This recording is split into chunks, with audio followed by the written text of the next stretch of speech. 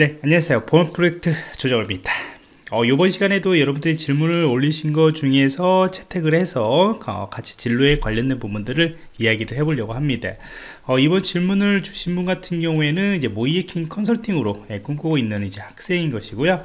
전체적인 질문들을 보시면은 제가 유튜브에서 항상 이야기하는 모의해킹 업무를 이제 진로를 선택했다면은 웹 해킹, 그 다음에 이제 모바일 해킹, 그 다음에 클라우드 보안까지 이제 같이 공부할 때다 라고 이렇게 계속 강조를 하고 있는데 그 세 가지를 현재는 좀 고민을 하고 있는 것 같습니다 우선은 이제 웹 공부를 하고 있어요. 그리고 트렌드에 맞추려고 이제 웹 모바일 공부들을 해야 할지 뭐 이런 클라우드 보안과 관련된 부분들을 해야 할지 이렇게 이야기를 하게 되는 것인데 우선은 이제 웹 공부 이제 웹 해킹과 그 다음에 이제 웹 모바일 해킹하고 관련된 부분들은 굉장히 이제 둘이 연관성이 깊죠. 이게 어, 뗄래야 뗄 수가 없는 부분들이죠 우리가 웹뱅, 웹해킹을 먼저 이제 공부를 많이 하게 되는 것인데 사실 모바일이라고 하는 서비스들을 운영을 할 때는 항상 이제 웹 서비스가 예, 앞에 같이 어, 있게 되죠. 그래서 우리는 이제 모바일이라고 하는 것을 통해 가지고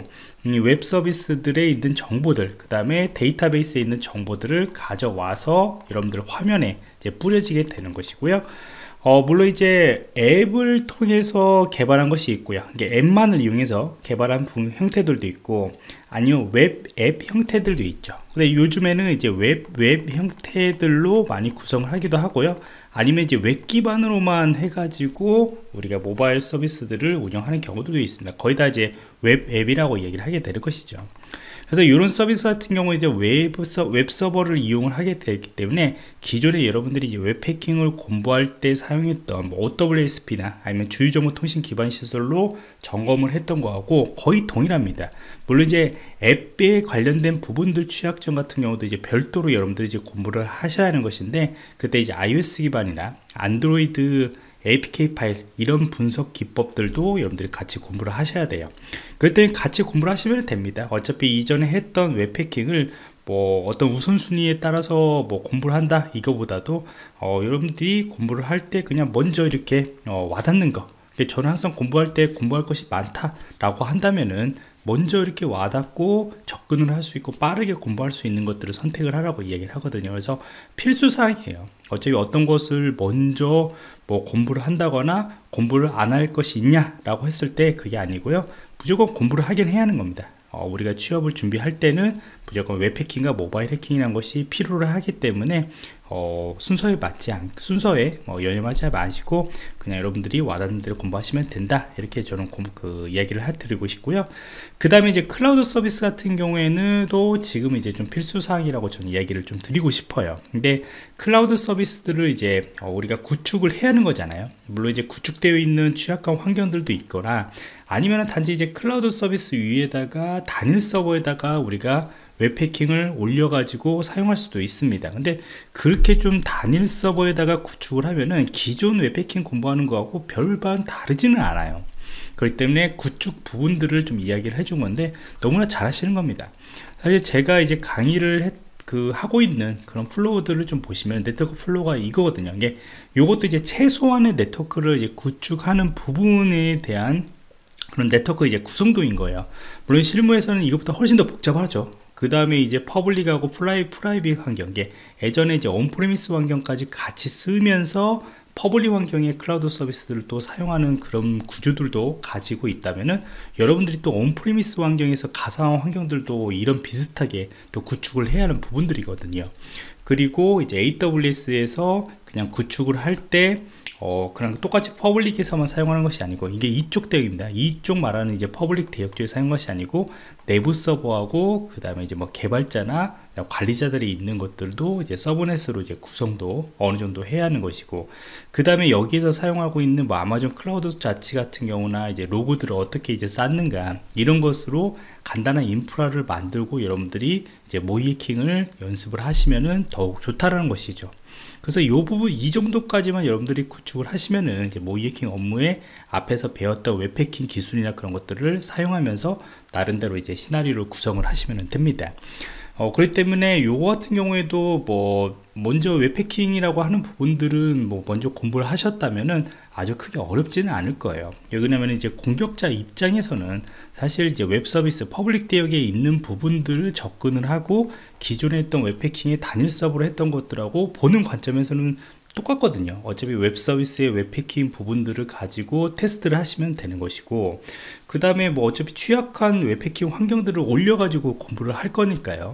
물론 이제 최신 취약점 같은 경우들을 여러분들이 뭐 찾는 개념으로 bug hunting 개념으로 찾는다. 그렇게 되면 이제 시간들이 조금 더 더 많이 소요될 것이고 공부할 것도 이제 많아지게 될 것인데 뭐 취업을 하기 위해서는 제가 항상 강조하겠 강조하고 있지만은 많은 취약점들을 여러분들이 경험을 하시는 것이 좋기 때문에 최대한 취약한 환경에서 예, 공부를 하시는 것이 좋겠죠.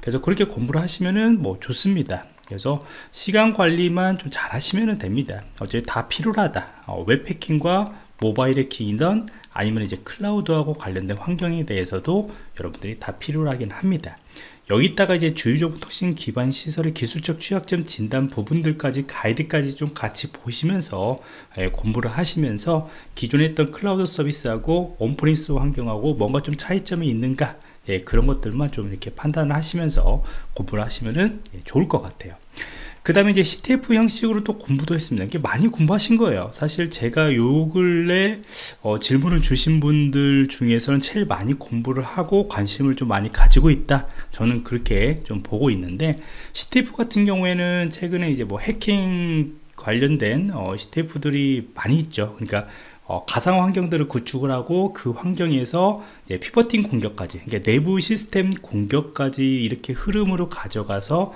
키값들을 취득하는 이런 형식의 이제 CTF 어, 사이트들이 많이 있습니다. Hack The Box를 아마 공부하신 것 같아요. 음, 그래 아니면 VulnHub냐 그런 것들을 좀 공부하신 것 같은데 어, 그런 기술들이 분명히 모의해킹 할 때도 많은 도움이 됩니다. 저는 이제 Hack The Box라고 하는 그런 사이트가 어, 좀 유료로 사용할 수 있는 사이트이지만은 어, 여러분들이 관심을 가지면서 계속적으로 이제 모이킹이나 그런 것들을 공부하셨다면은 계속 도전을 좀 하라고 저는 이야기를 하고 싶습니다. 그런데 이제 그 여기에서 이제 이야기하고 있는 이 피버팅 게 내부 침투까지 이제 고객사 쪽에서 하냐라고 하는 것인데 그거는 어, 프로젝트마다 좀 다릅니다. 그러니까 많이 하지는 않아요 사실요 근데 어, 프로젝트가 이제 담당자가 이런 내부 시스템이나 그런 것까지 나 우리는 침투하는 것들을 좀 보고 싶다. 그런 프로젝트들을 또 제안할 때가 있습니다. 어, 그때는 조금 더 이제 좀 자유롭게 예, 여러분들이 가지고 있는 모든 기술을 가지고 실질적으로 웹 서비스까지 공격을 하고 그 다음에 이제 내부 침투까지 하는 거. 이게 클라우드 서비스 인프라 쪽을 보시면은 여러분들이 이 public 공간이라고 하는 것까지 공격을 하고 난 뒤에 그 다음에 이제 내부 서비스까지 정말 침투가 또 가능하냐? 이게 pivoting 공격이라고 하거든요. 그래서 제가 경험했던 고객사 같은 경우에도 어, 비율적으로 이야기했을 때는 거의 대부분 이제 웹 서비스 쪽만 침투 여부들을 이제 판단을 하고요. 그 다음에 이제 내부 모의해킹이란 것을 별도로 이제 또 진행을 하게 되는 거죠. 그러니까 앞에서 이야기했듯이 이것을 통해 가지고 여기까지 접근하냐 여기까지 하는 것들은 네트워크에 영향들을 좀 많이 줄 수도 있고 그 다음에 이제 장애 요소들이 있다라는 것이죠. 그래서 이제 고객 담당자가 어, 잘 아시면은 여기에 대해서 이제 대응을 하겠지만은 이런 상황들을 이제 모르시는 분들 같은 경우에는 어, 이제 좀 불안하잖아요 사실은. 그래서 내부 모이킹으로 이제 별도로 예, 진행을 해서 이제 공격자가 이쪽에서 이제 임직원 입장에서 아니면 내부망 쪽에 뭔가 침투가 됐다고 생각하고 그 관점에서 진단을 하게 되는 것입니다. 그래서 이런 사항들을 이제 하는 프로젝트도 있고요. 그 다음에 이제 프로젝트를 처음부터 아까도 얘기했듯이 프로젝트를 처음부터 우리는 내부망까지 어디까지 침투하는 것을 좀 보고 싶다라고 한다면은 이제 어떤 시나리오로 구성할 것이고 그 다음에 그것들을 실서비스의 대상으로 진단을 할 것인지 뭐 테스트 서버 대상으로 할 것인지 이거는 이제 모든 서비스 그 프로젝트마다 조금은 다르다. 하지만은 분명히 내부 모의 그 내부 시나리오 기반의 그런 침투들을 하는 프로젝트들을 경험을 하게 될 겁니다. 음, 그럴 때 이제 그 공부했던 것들을 여러 가지 기술들을 막 사용을 해서 정말로 어, 제 입장에서는 굉장히 재밌었었죠 어, 여러 가지 막 수행을 하고 정말 아 이런 공격들도 많이 되는구나. 와, 여기까지 정말로 되는구나 하면서 그때도 새로운 기술들을 계속적으로 공부를 하면서 진행을 했던 것 같아요. 그리고 이제 사회공학적 기법을 이용하는 그런 사례들도 꽤 있었습니다. 그러니까 누구 대상으로 악성 코드를 내가 정말로 뿌려가지고 어, 내부 시스템까지 들어가냐 이런 프로젝트를 제안을 하는 경우들도 있었고요.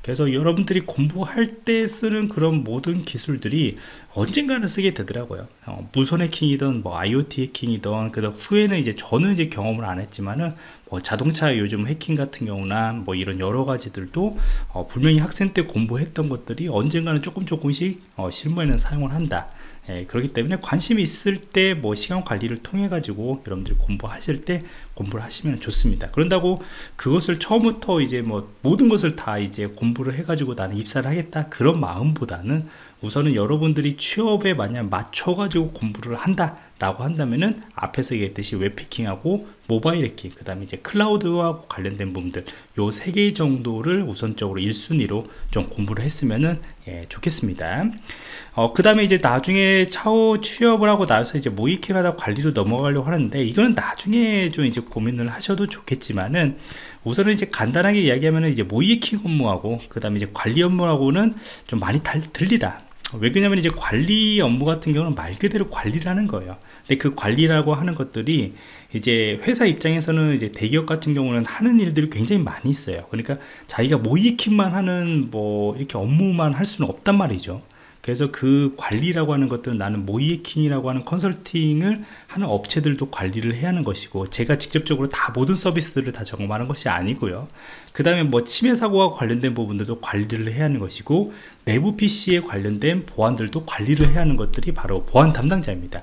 물론 그 롤들은 이제 규모에 따라서 좀 어느 정도는 다 분리가 돼 있거나 아니면은 제가 한 3, 4개 정도를 다 도맡아서 하는 경우들도 있는 것이고요.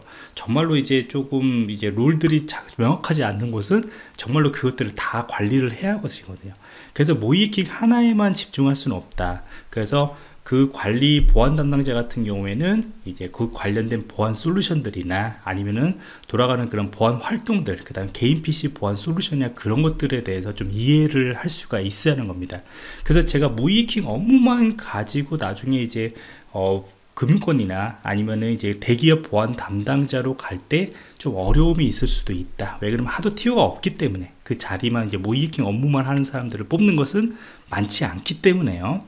그래서 여러분들이 관리 보안 관리 게 보안 담 그 보안 활동이죠. 보안 활동에 필요한 그런 여러 가지 영역들 인프라에 대해서 어, 네트워크 장비부터 보안 솔루션에 대한 것들을 좀 천천히 이렇게 공부를 해 나가시면 좋을 겁니다. 왜 그러면 이제 모이킹의 이제 웹과 이제 모바일 쪽에 대한 진단만 좀 집중을 하다 보면은 사실 인프라에 대한 보안 솔루션이나 그런 것들이 이해도가 좀 떨어질 수가 있거든요. 그리고 공부를 할 필요가 없을 수도 있어요. 음, 하지만은 여러분들이 나중에 나는 보안 담당자로 정말 금융권이나 그런 데를 가고 싶다 라고 한다면은 그 부분을 좀 더 더 채워나가는 침해 사고 분석 입장에서도 공부를 하면서 좀 채워 나가시면 좋을 것 같아요. 그래서 이 부분 같은 경우에는 이제 제가 유튜브에서도 많이 이야기를 했고 그 다음에 보안관제하고 침해사고 업무에 대해서도 어떻게 이제 금융권주로 준비하면 좋냐 예, 그런 것들도 어, 많이 이야기했던 부분들이기 때문에 그것을 좀 참고하시면 예, 좋을 것 같습니다